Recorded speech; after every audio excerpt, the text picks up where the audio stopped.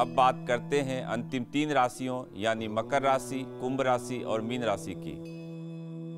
मकर राशि, सात अगस्त से तेरह अगस्त का साप्ताहिक राशिफल।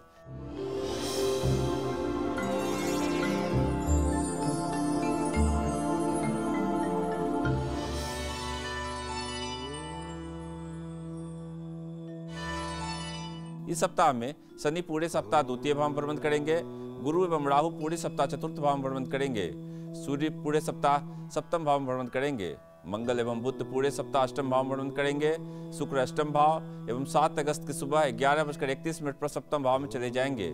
केतु पूरे सप्ताह दसम भाव में भ्रमण करेंगे, चंद्रमा चतुर्थ भाव, पंचम भाव एवं छठे भाव में भ्रमण करेंगे। मैं इसी के आधार पर मकर राशि वालों का साप्ताहिक राशिफल बताऊँगा।